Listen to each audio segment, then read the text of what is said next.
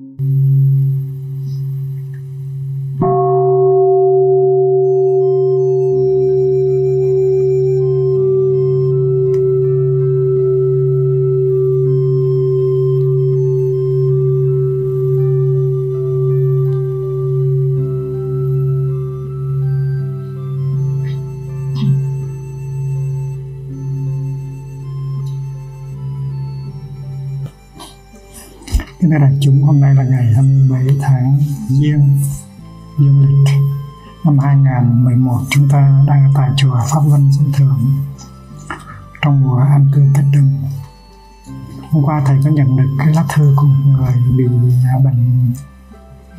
Trầm cảm.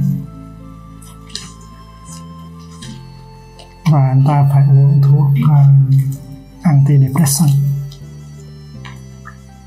Chống trầm cảm. Anh ta chỉ uống một cái liều uh, ít thôi 4 mg nhưng mà anh ta cảm thấy mình mất tự do anh nói rằng là anh uống cái cái liều lượng đó thì anh sống được. Anh có thể sinh hoạt bình thường được. Nhưng mà cái suy tư của anh không có sâu sắc. Và anh có cảm tưởng là anh không có tự do. Anh có bắt đầu tập thiền. Và thầy đã dạy cho người ta biết làm thế nào đi khi mình ở trong tù, mình vẫn có được tự do. Thì em nói, thầy ơi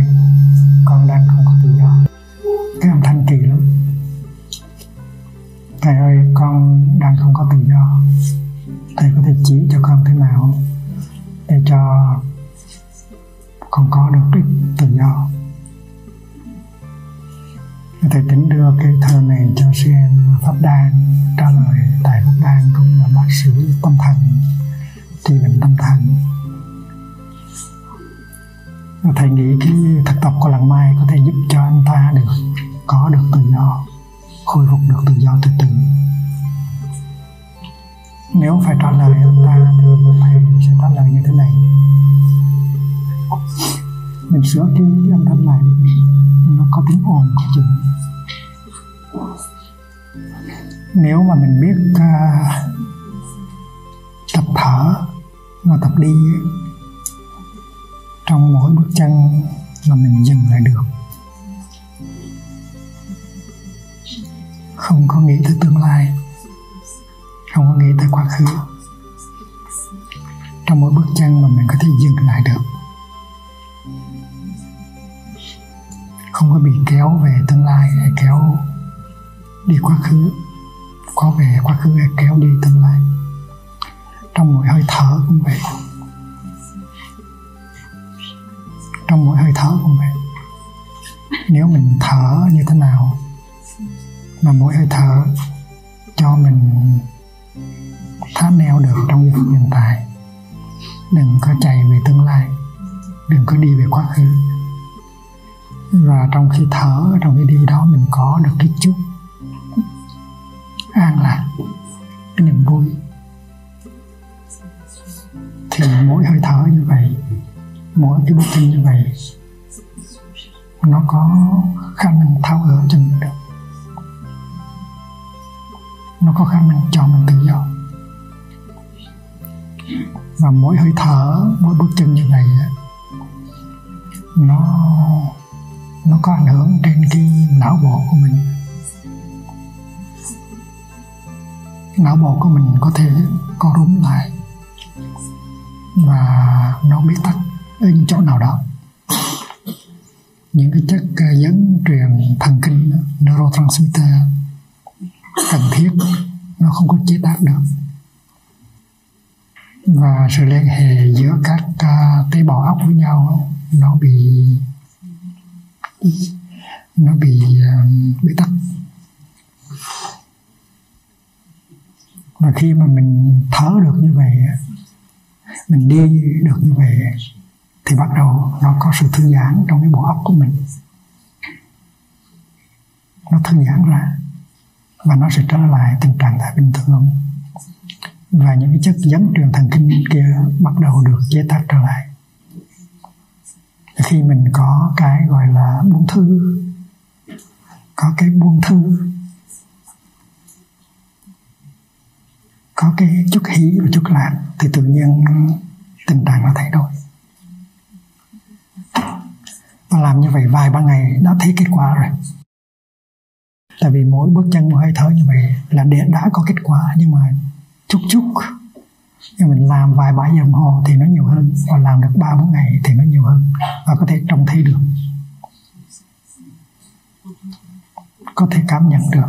Và từ từ mình đạt tới cái tự do mà mình mình cần.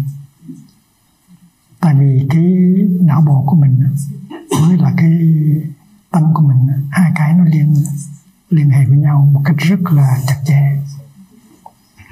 Không có tâm ý, nếu không có não bộ nếu không có não bộ nếu không có tâm ý hai cái nó phải đi đôi với nhau. Hai cái nó nương nhau mà có hai cái nó tương tức. Thành ra sự thay đổi nơi tâm đó, nó đem lại cái sự thay đổi nơi não. Và nếu tâm nó dừng lại nó thấm thơi ra nó có chút hỉ và chút lạc thì cái não cũng thay đổi. Và mình như là tâm nó giống như là một người một uh, nghệ sĩ điêu khắc. Có thể điêu khắc được cái bộ não của mình. Và các nhà khoa học uh, thần kinh não bộ bây giờ công nhận cái điều đó là cái uh, cái não bộ của mình uh, có thể thay đổi được. Và bằng cái cách mình sống mình thở mình suy tư mình chữa lại. Mình điều khắc lên. Cái não bộ của mình não bộ của mình thay đổi theo cái cái cách tư duy của mình. Cái đó nó gọi là cái plastic plasticity của uh, của não bộ. Tâm thay đổi thì não bộ thay đổi. Cũng như là mình đi đi con đường tắt con đường tắt mới bắt đầu đi thì thì nó có bụi cây rậm rạp. Nhưng mà nếu mà đi hoài thì tự nhiên cái lối đi nó ra, nó rất là dễ. Ban đầu mình đi còn thấy chưa tự nhiên, chưa dễ dàng. Nhưng mà nếu mình cứ tập đi con đường đó thì nó sẽ dẫn mình tới cái chỗ đó thì trong cái não bộ của mình cũng vậy nó có những cái đường đi nẻo về nẻo về của ý. Nó có sẵn nó có những đường mòn rất rất là quen thuộc. Và những đường mòn đó mình cứ đi đi lại lại mỗi ngày. Hay khi mà thấy thấy thì bực bực thì giận giận thì đau khổ. Mà cứ cứ ngựa theo lối cũ cứ đi đi theo kiểu đó. Đó là những cái tâm hành gọi là tâm hành um, biến hành, tâm sở biến hành, là năm cái xúc tác ý thọ tưởng tư xúc tức là cộng tác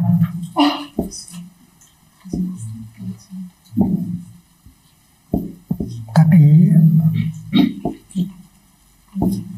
là attention. Thọ tức là feeling. Tưởng tức là perception.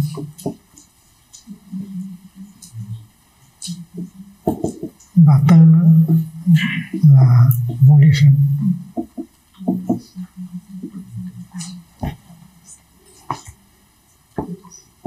Thì năm cái năm cái tâm hành này, mental formation này gọi là universal. Gọi là biến hành là lúc nào cũng có, tôi đã hết. Và chỗ nào cũng có, tôi đã hết. Đó là tâm lý thông thường con người. Hay khi mà xúc chạm thì có những cái cảm thọ. Nếu xúc chạm cái gì dễ chịu thì cảm thọ là vướng mắc.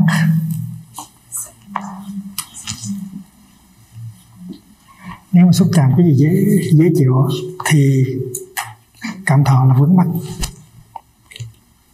Mình thích, dễ chịu, vướng mắc. Và vướng mắc như vậy á, thì thì có cái perception đó là cái này chính là cái mình cần, cái là mình thích. À và vì vậy cho nên đi tìm cái đó thêm nữa. Từ là volition đi tìm volition và đó là cái nẻo đi đường về của tất cả mọi người. Hay khi nào thấy có cái dễ chịu thì không biết là nó lời hại, độc hay là hiền. Hễ thấy mà nó dễ chịu thì là mình đi tìm. Mình đi tìm. Mình nghĩ cái đó là hạnh phúc ví dụ như là tác ý, mình để im cái gì đó, rồi mình có xúc chạm xúc chạm cái đó mình thấy khó chịu, thấy thấy đau. Và khi mà thấy đau thì mình nghĩ rằng cái này là cái thù của mình. Ừ. và tự nhiên mình muốn bỏ chạy, hoặc là mình muốn đánh phá và nó đưa tới cái ý, ý muốn đánh phá hoặc là bỏ chạy. Thì cái cái cái dễ chịu thì mình phản ứng cách khác mà cái khó chịu là mình phản ứng khác. Ví dụ như cái khổ. Cái khổ là cái không có dễ chịu. Và khi mà nó mình nhận ra nó là cái không dễ chịu, thì mình muốn trốn tránh. Mình trốn tránh. Mình tìm đổi đúng một cách để trốn tránh, để khỏa lấp. Trong khi đó, sự thật là cái khổ nhiều khi rất là có ích. Ví dụ như là có em bé bị thương ở trong con người của mình mình không có muốn tiếp xúc với em bé em bé đó bạn bị thương. Và đó là kỷ niệm hồi xa xưa. Mỗi khi nhớ tới những cái vết thương của mình ngày xưa là mình không thích vì vậy cho nên mình mình không có muốn trở lại với em bé để chăm sóc em bé. Mình để em bé một mình ở trong phòng tối để cho nó tiếp tục nó khổ. Và vì vậy cho nên thương tích của mình không bao giờ làm hết. Và cái mặt na thức của mình đó, nó có khuynh hướng đi tìm những cái dễ chịu và trốn tránh những cái khó chịu. Và khổ đau là những cái khó chịu cho nên nó trốn tránh. Nhưng mà nó không có biết rằng chính cái khổ đó nó đưa tới cái hiếu và cái thương và cái hạnh phúc. Chính cái khổ đó nó đưa tới cái thấy cái hiểu cái thương và cái hạnh phúc khi mà mình trở về với em bé bị thương ở trong mình mình thấy những cái nỗi khổ, niềm đau của nó. Rồi mình nói với nó rằng, này em, những cái nỗi khổ, niềm đau của mình, nó thuộc về quá khứ rồi. Trong khi đó, trong giây phút hiện tại trời rất xanh, nắng rất là đẹp, có rất nhiều điều kiện hạnh phúc. Tại sao em không có cùng ta đi ra ngoài này mà chơi? Thì mình đem cái bối cảnh khổ đau của ngày xưa mà so với những cái điều kiện hạnh phúc bây giờ thì mình thấy mình rất là may mắn trong giờ phút hiện tại. Vì vậy cho nên tiếp xúc cái khổ đau đó nó giúp cho mình nhận diện được những cái điều kiện hạnh phúc bây giờ. Nhưng mà cái tâm lý của mình á, là ấy hay trốn chạy khổ đau và vì vậy cho nên trốn chạy khổ đau mình không không có khả năng à, thưởng thức được nhận diện được những cái điều kiện hạnh phúc đang có mặt. Và vì vậy cho nên và vì vậy cho nên phải có một cái tâm hành khác. Nó nằm ngoài năm tâm hành đó can thiệp vô để mình nhớ được những cái khổ đau của quá khứ rồi mình đem so sánh những khổ đau quá khứ đó với những điều kiện hạnh phúc trong hiện tại. Cái tâm hành đó gọi là niệm. Niệm tức là mindfulness.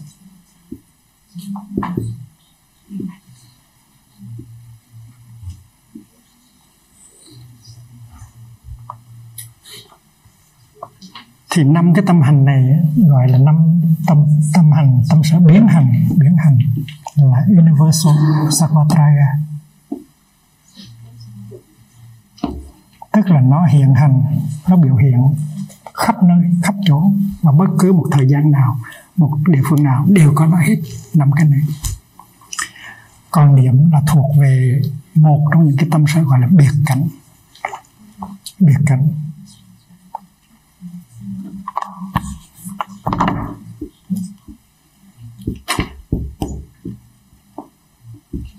À, particular, cái này là universal, cái này là particular. Thì khi mà mình tu thì mình phải biết sử dụng tâm hành niệm. Ví dụ như mình mình xúc chạm một cái dễ chịu mà nếu mình không tu thì mình để cho cái cảm thọ dễ chịu đó nó kéo mình đi tìm những cái đó. Nhưng mà nếu mình đưa niệm vào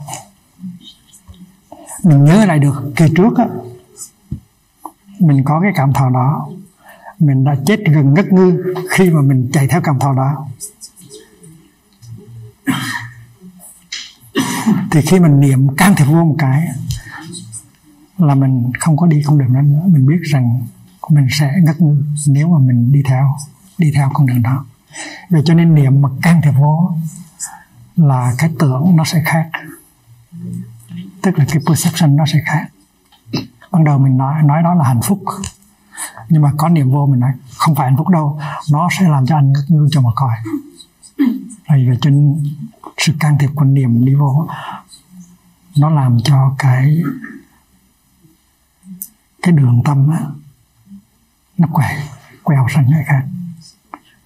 Gọi là neural pathway là những con đường của của của óc nó không đi xúc thọ tưởng tư, như vậy nữa. Tại vì sau đó nó sẽ đưa tới cái khổ thọ. Ban đầu là cái lạc thọ, nhưng mà sau đó là cái khổ thọ. Và khi mình có cái tâm hành niệm rồi đó, thì cái tâm hành niệm nó đưa tới cái tâm hành định. Định tức là concentration.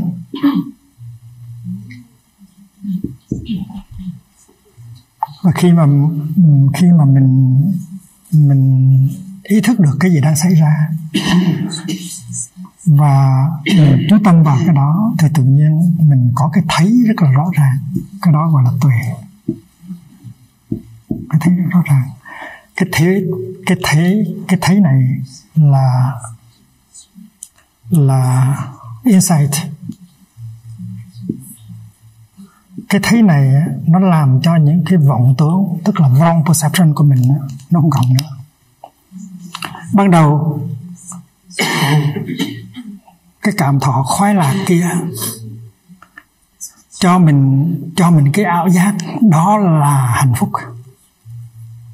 Đó là hạnh phúc. Nhưng mà mình biết rằng cái ảo giác đó cái cái cái perception đó cái cái, cái nhận thức đó là một nhận thức sai lầm. Vì cái nhận thức sai lầm đó cho nên mình mới đi tìm cái đó. Mình quyết tâm đi tìm cái đó. Và chính quyết tâm đi tìm cái đó cái đó nó sẽ tàn phá cái thân và cái tâm của mình. Vậy vậy cho nên cái cái lạc thọ nó đưa tới cái tri giác sai lầm, cái đi giác sai lầm nó đưa tới cái quyết tâm làm những việc sai lầm, tàn phá cái thân tâm. Trong cái đó, nếu mà anh cho niệm can thiệp vô, thì anh thấy được tất cả những cái kinh nghiệm của quá khứ.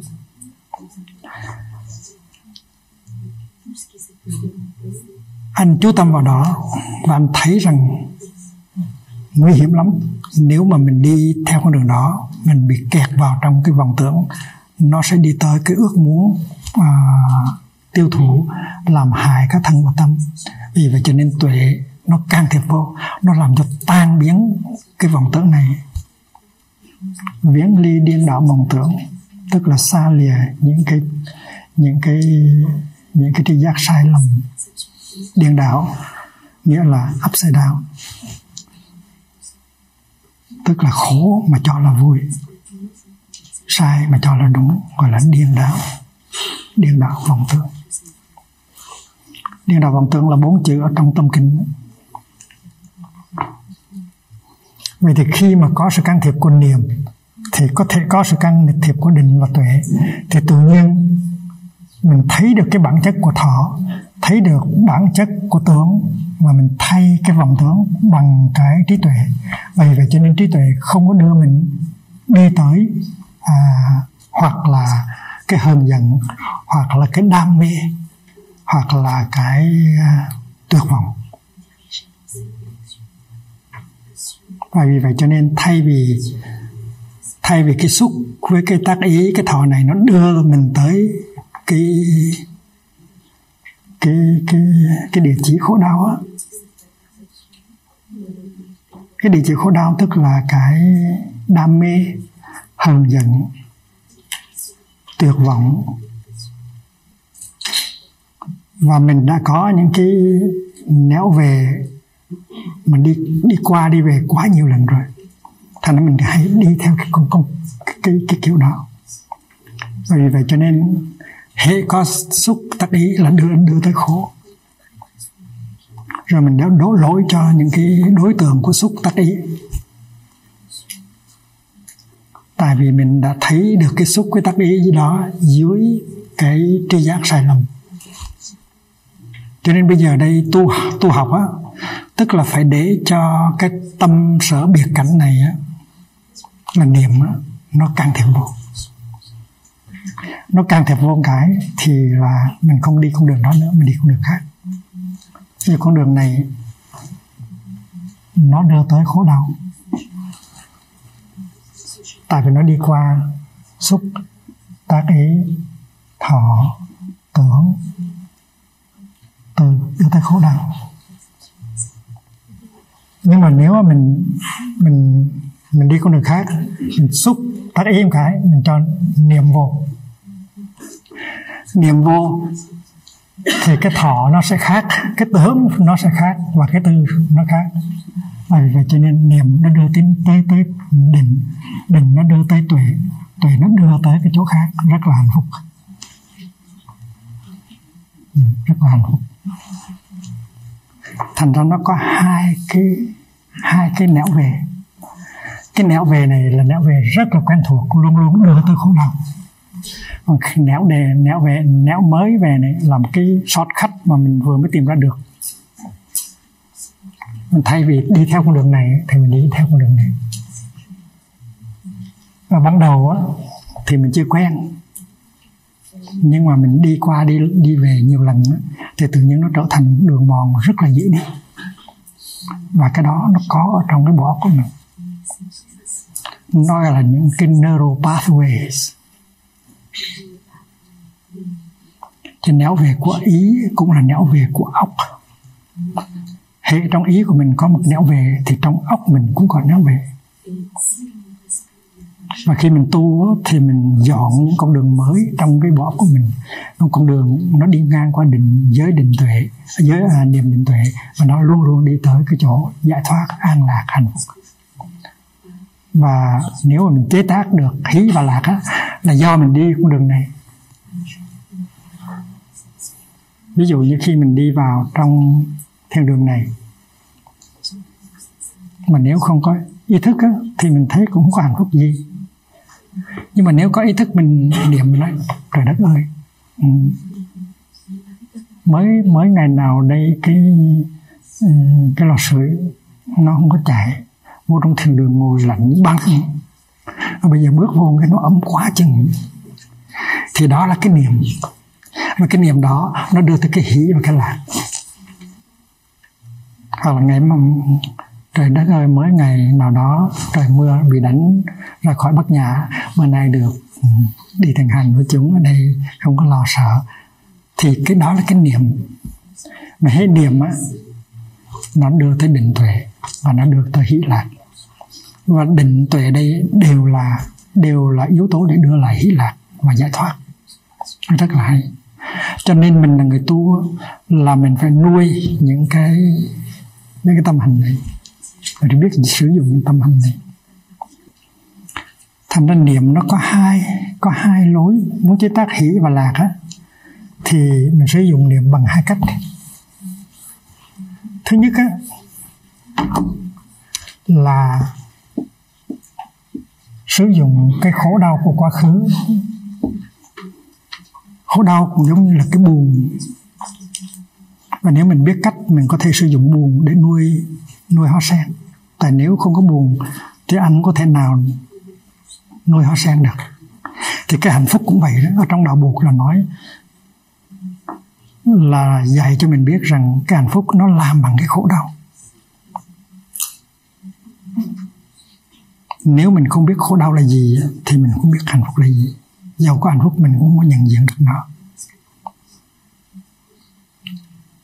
Cho nên cái khổ đau nó cần thiết.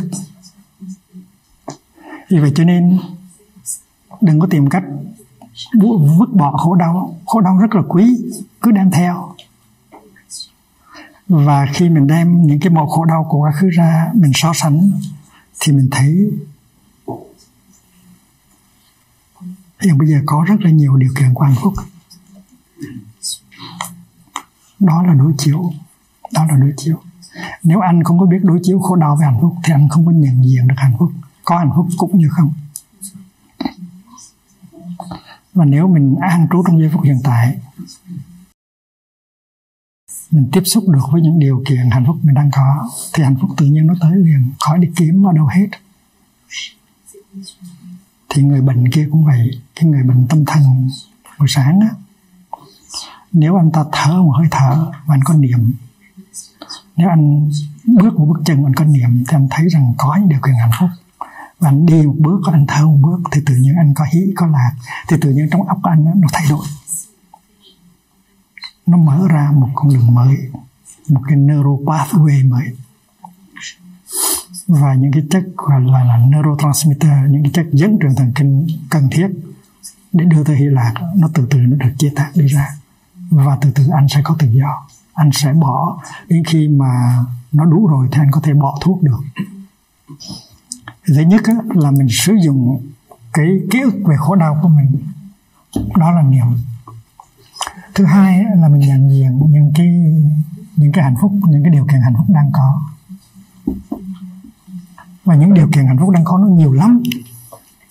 Nó đầy hết à. Nó ở bên trong, nó ở bên ngoài. Trong những điều kiện hạnh phúc của mình có có cái chánh kiến.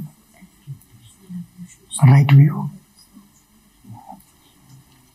Chánh kiến tức là cái thấy bất nhị. Cái thấy bất nhị. Cái thấy bất nhị là mình không thể nào đi tìm hạnh phúc ngoài khổ đau được. Phải tìm ngay ở trong khổ đau. Không có hạnh phúc thì không có khổ đau cũng như không có phá, trái thì không có phải đó là rất đặc biệt của Phật giáo. Của đau buộc cái này rất là quan hệ quan trọng. Đừng có tỉ đi tìm một cái thế giới của hạnh phúc ngoài khổ đau. Chính ở trong khổ đau mà mình phải tìm hạnh phúc. Đó là chánh kiến chánh kiến cũng là hiện pháp lạc trú.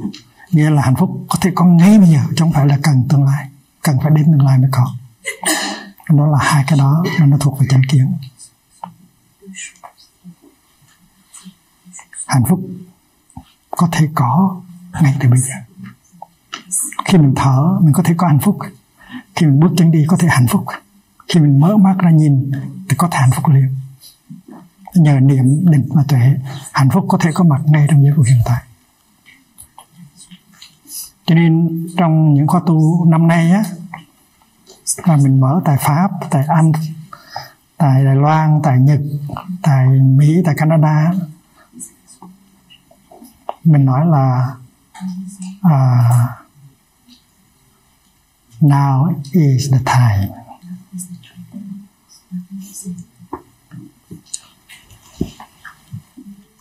Now is the time. To be happy. Now is the time. This is it. Cái chuyến đi này sẽ được đặt dưới cái lá cờ. Now is the time. This is it. Nó có nghĩa là hạnh phúc có thể có được. Bây giờ, khi mà mình có buộc, có pháp và có tăng trong lòng và xung quanh mình thì hạnh phúc là chuyện có thể có được liền. Cho nên mình nói các bạn hãy về, các bạn nói tiếng pháp, hãy về làng mai cho thật đông trong khóa tu sắp tới để sống những cái giây phút huyền thoại với tăng thân thân thương của mình. Tại vì mỗi giây phút sống với tăng thân trong từng hơi thở, trong từng bước đi, trong từng cái nhìn đều có thể có hạnh phúc được. Với cái năng lượng tập thể của tăng thân thì mỗi giây phút sống với tăng thân có thể là một giây phút hạnh phúc. Now is the time and this is it tức là cái mình đi tìm á, không có ở đâu xa hết, nó ngay tại đây. Cái đó gọi là this is it.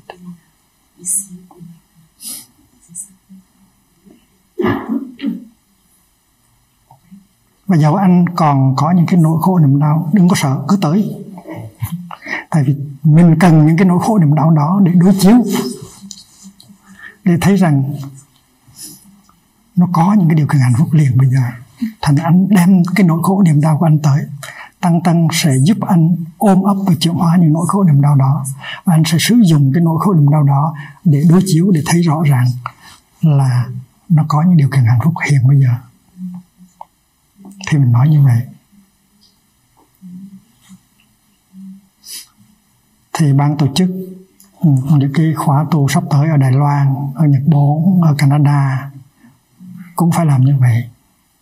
Tức là phải mời các bạn tới để sống hạnh phúc liền trong khóa tu.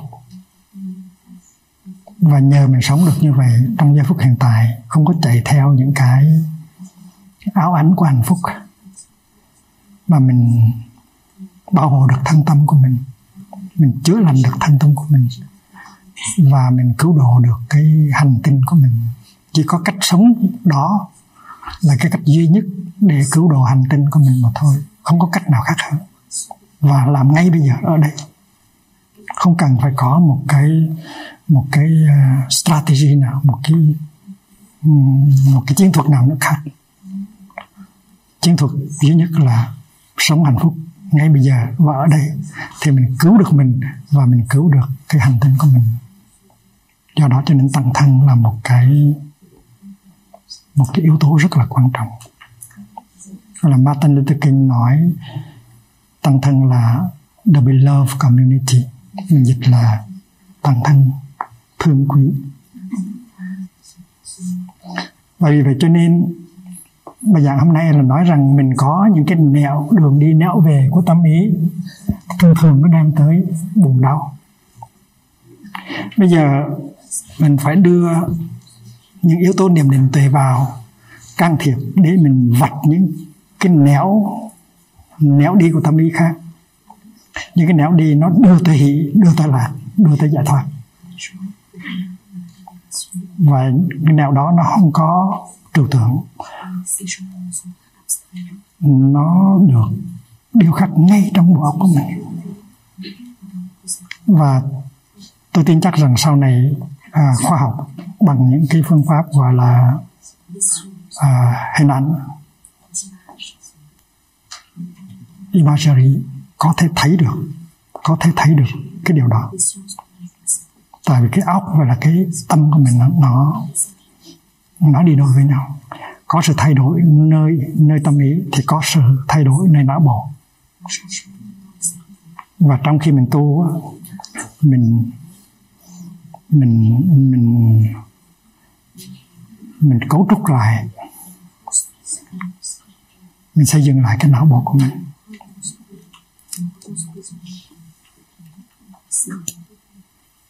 Ngài nói là khi buộc ngồi với cái bồ đề và tỏ, tỏ thiền thì não bộ của ngài phát triển mau lắm. Và cuối cùng ngài có một cái nhục kỹ nhô cao lên trên này tại cái à, cái sọ của ngài không có đủ để cho sự phát triển của các tế bào óc. Cho nên nó phải lớn lên như vậy ngài cũng còn trẻ. Hồi đó mới có ba mươi mấy tuổi. Và xem pháp đàn sẽ thay thầy viết cái lá thơ cho anh chàng kia thầy sẽ đưa địa chỉ. Trong cái tín ngưỡng bình dân ở Việt Nam á, nó có một ông thần.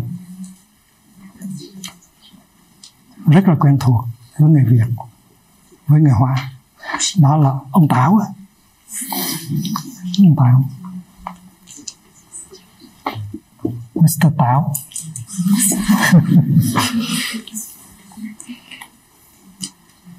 mình biết Mr. Tái rồi hả Tái ông mất ngựa bây giờ Mr. Táo ông thằng này rất là thân thân thân thân thuộc với mình, rất là thân với mình ông bình nhân lắm. Ông ngồi dưới đất. Ông có ngồi trên cao. Và mình thở ông ở trong bếp cái chữ táo có thể viết như thế này là, là có chữ hỏa và có chữ thổ. Hỏa tức là lửa thổ tức là đất. Thường thường mình mình mình nói tới ba ông táo tức là ba cái ba cái cái đất nung á. À, đây mình để cái nồi trên này. Để, để cái nồi trên này. Để, để nồi trên này để nấu. Đun đun đun bếp ở dưới này. Thì cái này á, là táo này ông táo ba ông táo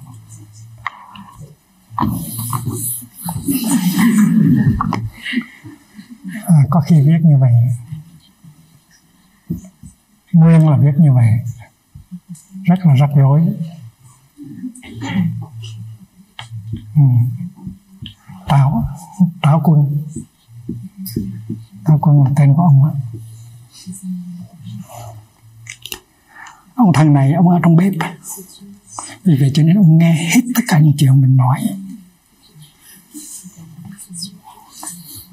Ông biết hết thành ra ông lên trên đó ông báo cáo hết. Ở trên đó nó cũng có một triều đình. Ở dưới này có vua đã đánh rồi. Nhưng mà mình đánh lừa vua dưới này rất là dễ.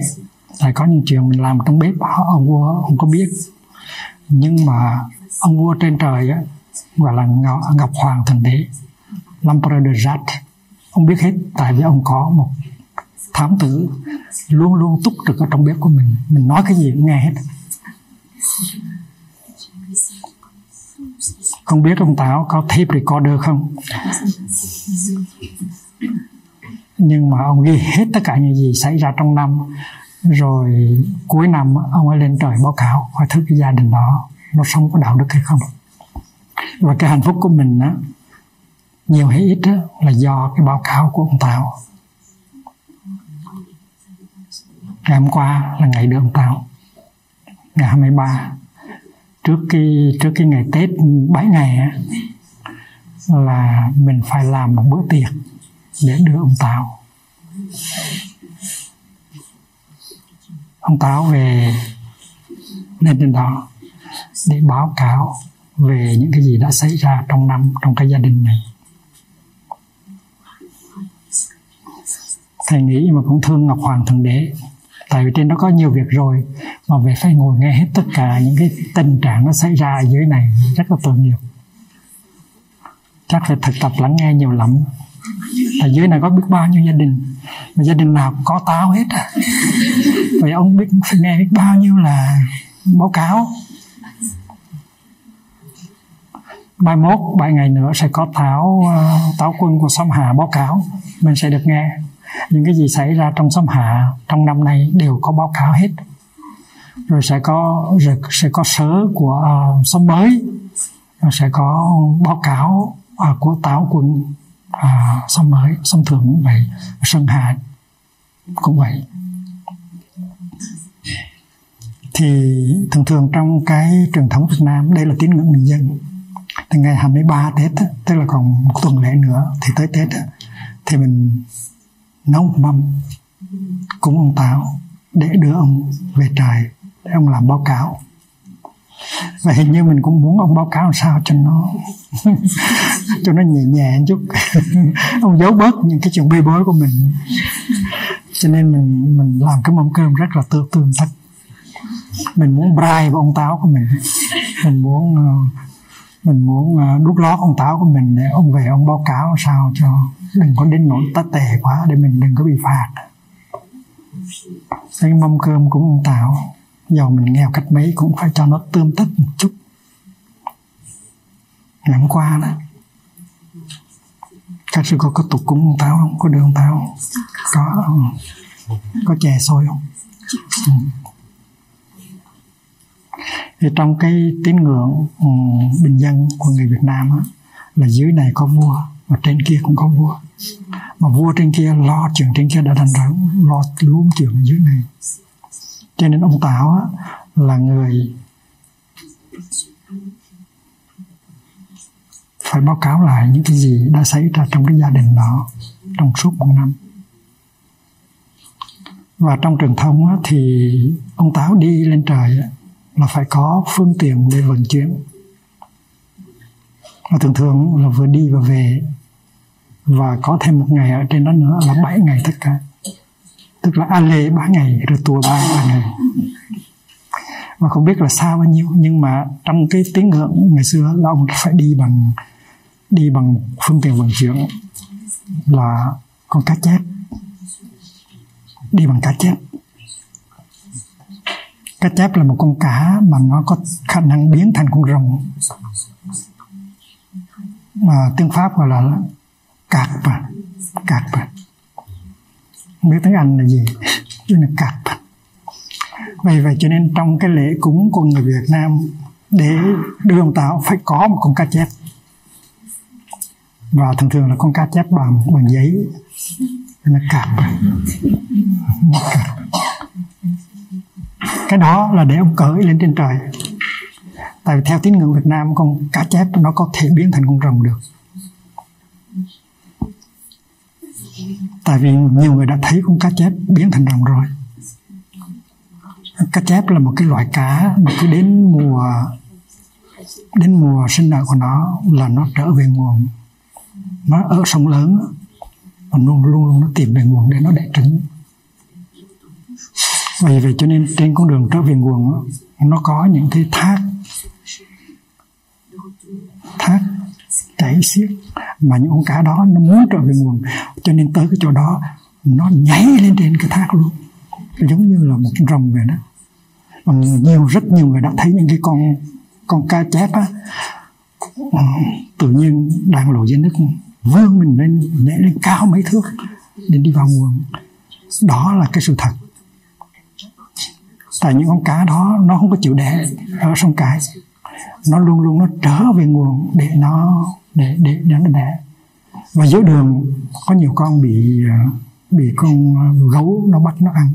Gấu nó biết cái mùa cá chép trở về nguồn thì nó ra nó phục sẵn ở những cái cái cái cái chỗ thác đó. Khi mà con cá chép nó bay lên, nó bay được á. Ừ, nó tới nó nó nó đớp vậy vậy cho nên trong tiếng tín ngưỡng người việt á là cá chép có thể hóa rồng được. Vậy vậy cho nên khi mà khi mà ông táo về trời á, là phải cúng một con cá chép để ông táo có phương tiện vận chuyển đi về trời. Phải đi bao lắm mới được chứ còn đi chậm chậm thì đâu có tới trời được.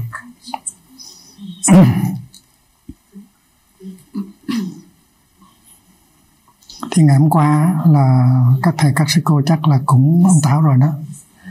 Và hiện bây giờ he's on the way. Chừng vài ngày nữa ông tới và ông sẽ báo cáo đó. xong thường làm ăn sao, xong hà làm ăn sao.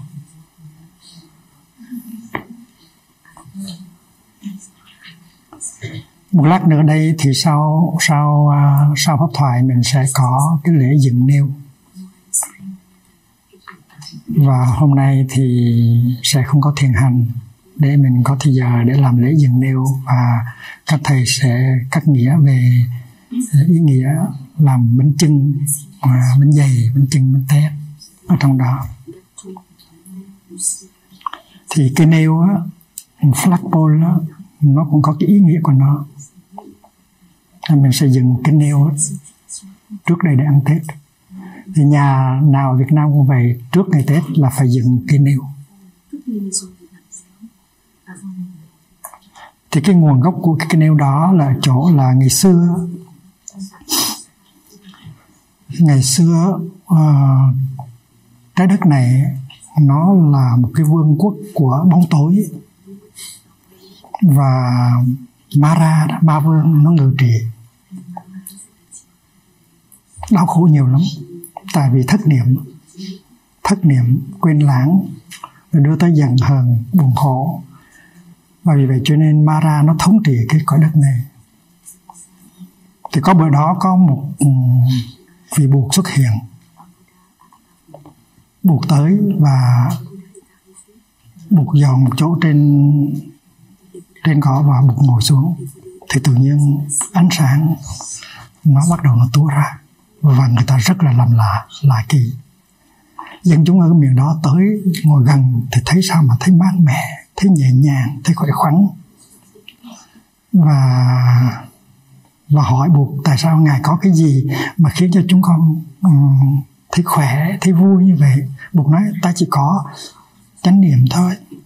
Ở đây các vị sống ở trong bóng tối ở trong cái sự quyến lãng thất niệm cho nên quý vị khổ và nếu quý vị làm theo tôi á, làm theo ta thì có thể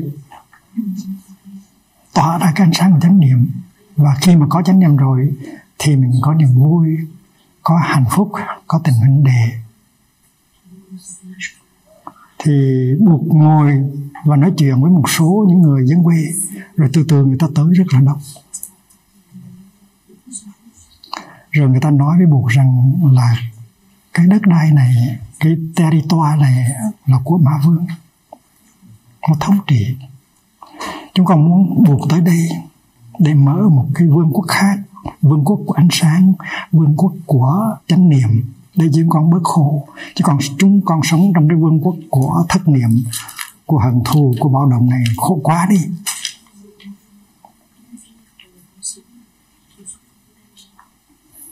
Thì buộc nói tôi cũng có ý đó. Tôi thấy quý vị khổ quá. Thành tôi cũng muốn lập cái vương quốc này. Tại ngay tại đây.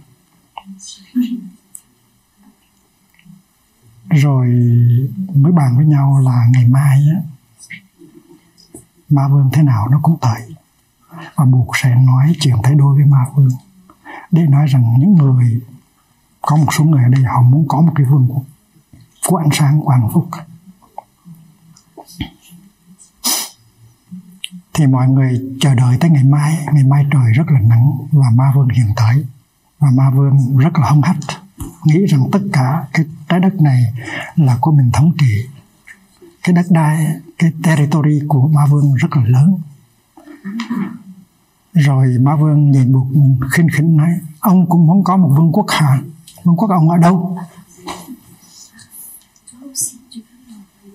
Có bao nhiêu bao nhiêu mẫu?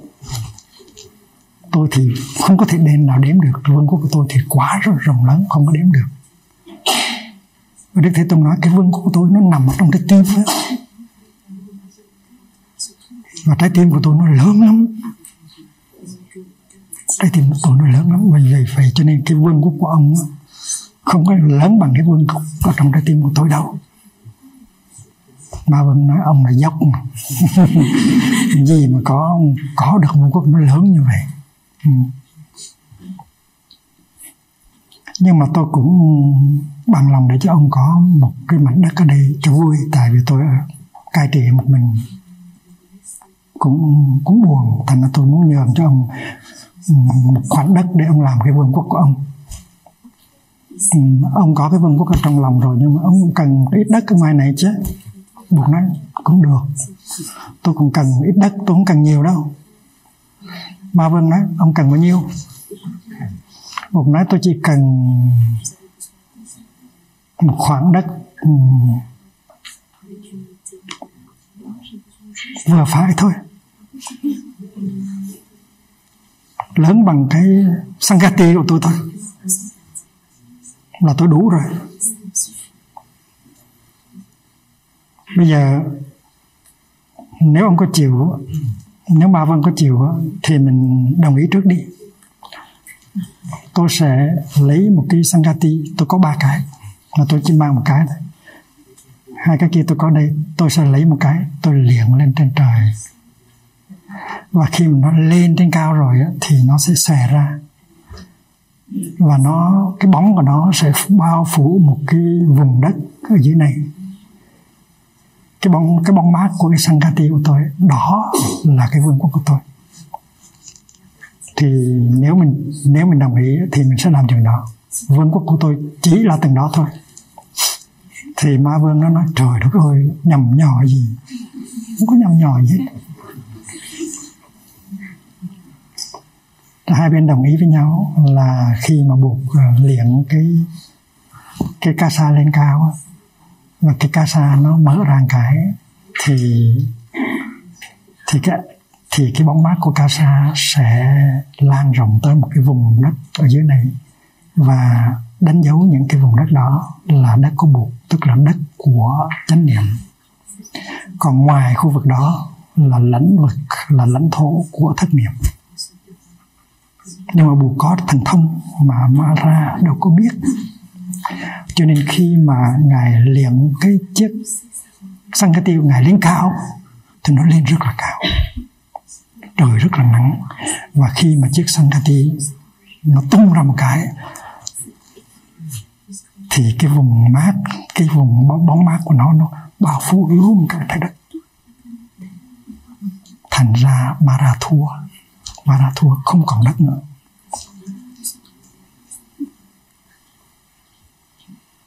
Mà Mara thua một cái trận một cái trận rất là lớn. Mara tức quá đi tìm cách để mà phục hồi lại.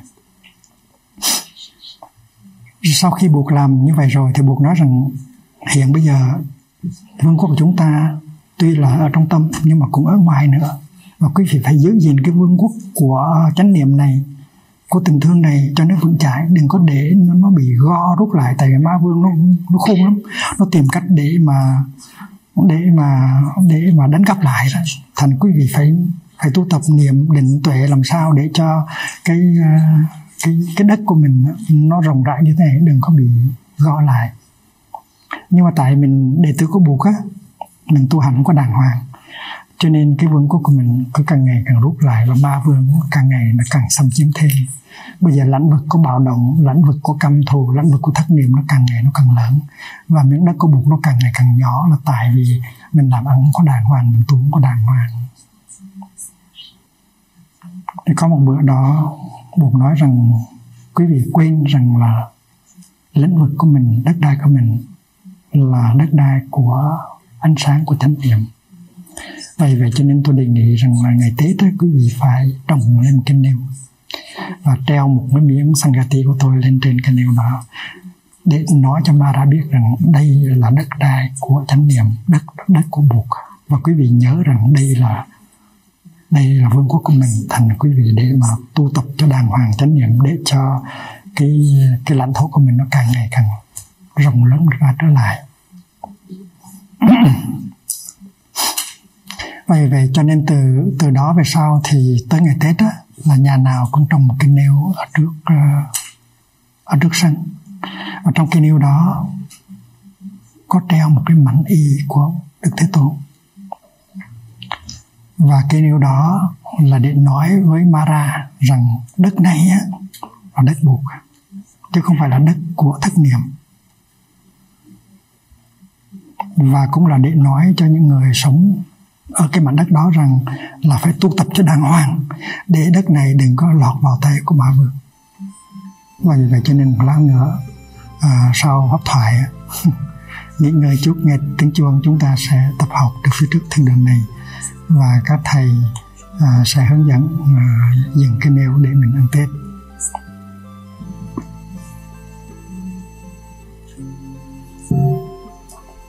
ý nghĩa của à, của cái bánh tét và chúng ta có ngày hôm nay không đi thiền hành, nhưng mà gói bánh tét buổi sáng gói bánh tét buổi chiều để để à, nuôi dưỡng tình huynh đệ. Một ngày rất là vui. Bữa nay mình khỏi học kinh được không? Thôi để dành bữa khác ha.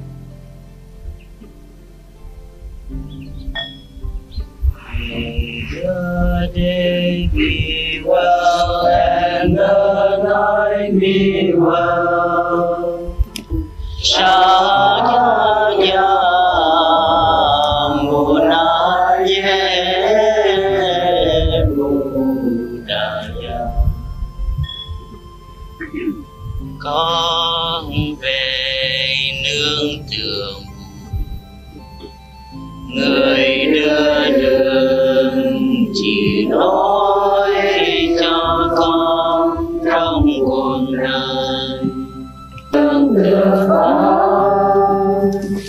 当仁不让。